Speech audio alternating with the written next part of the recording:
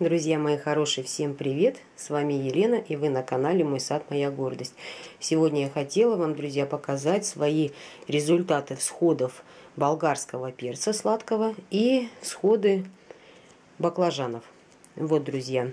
И хотела бы рассказать, что я вообще делаю, то есть и как я за ними буду в дальнейшем ухаживать, друзья, после всходов. Давайте посмотрим. Вот перчик мой.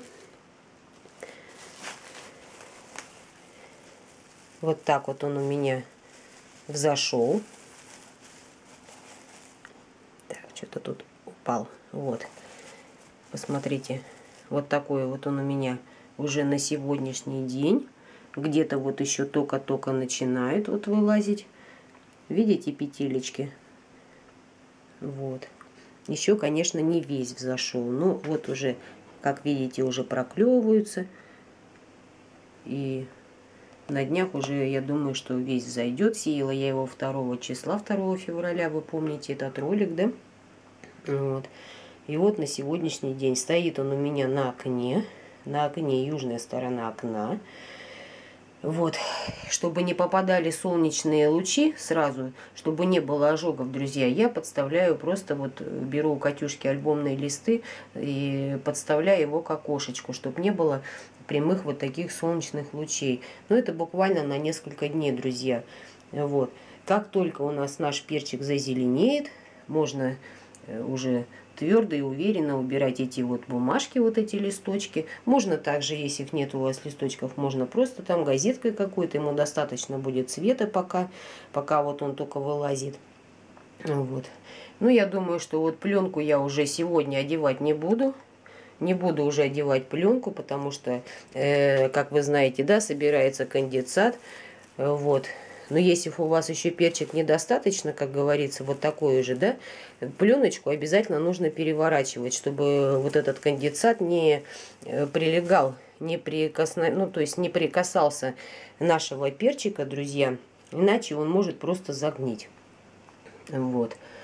Вот такой вот перчик у меня. Что у нас с баклажанами? Баклажаны я сеяла попозже, друзья мои.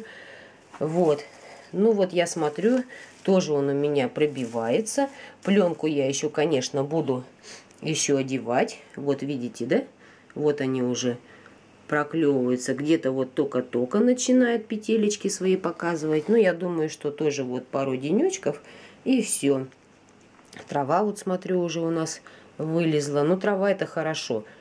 Трава это значит земля достаточно хорошая, где растет травка. Вот. Так что вот такие вот у нас баклажаны. Ну, думаю, что вот еще немножко. Ну, пленку я, конечно, буду еще одевать. Одевать еще, ну, ну наверное, еще дня 4-5 я точно будет у меня баклажаны под пленочкой находиться. Как я вам уже сказала, да, пленочку переворачивайте обязательно, давайте проветривать э, раз в день, хотя бы пару часов давайте, чтобы ваша земля все-таки э, дышала. Я имею в виду, что вот баклажаны, где перчики сидят, чтобы земля дышала. Если вы не будете снимать пленку, земля может просто заплесневеть, пойти плесенью, то есть это не есть хорошо, друзья. Ну вот, как я готовила свою почву, да, я вам уже говорила, рассказывала, вот когда я сажала перчики, что я готовлю почву заранее, осенью, да, все сразу перемешиваю. Ну вот. Подкармливать сейчас я пока ничем не буду, ни перцы, ни баклажаны, потому что не надо, чтобы они сейчас так быстро шли в рост, потому что еще достаточно времени у нас, да, э, до посадки и они начнут просто переть, как у нас э, говорится, как дыдло начнут расти, вытягиваться, нам этого сейчас не надо. Вот. Маленько погодя, когда уже будет где-то по пятому листочку, по шестому, тогда уже можно чуть-чуть начинать подкармливать. Но пока подкармливать я не собираюсь. И пока достаточно питания в земле, да, там у нас и перегной есть, и все. И этого достаточно, друзья мои. Ну вот. Показала я вам свои перчики, баклажанчики, какие они у меня на сегодняшний день. Сегодня 16 февраля. Вот такие вот у меня хорошие перчики и баклажанчики. Вот, друзья, всем хорошего настроения. Задавайте вопросы. Если у вас есть какие-то вопросы, задавайте. Я всегда на них отвечу.